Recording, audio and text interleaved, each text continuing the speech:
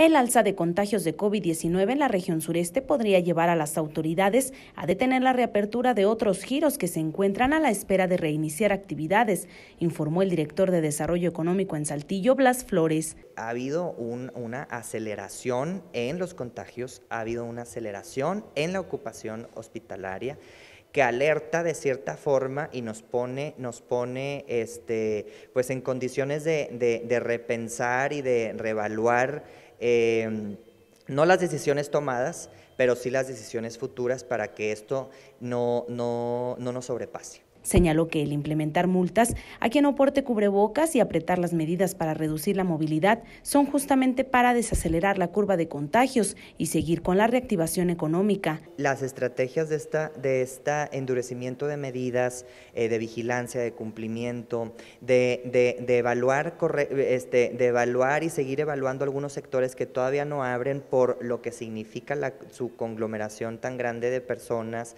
este pues es, parte de la estrategia de desacelerar, desacelerar la, curva de contagios y desacelerar la ocupación hospitalaria. Expuso que lamentablemente las cifras de los últimos días no ayudan a que otros giros que están solicitando la autorización para abrir puedan hacerlo, por eso el llamado a la población para que siga con las medidas sanitarias. Los salones de eventos, un protocolo impecable un protocolo sumamente responsable. Los cines, pues bueno, son cadenas nacionales este, que, que tienen toda una logística, a su personal lo han cuidado, lo han capacitado, o sea,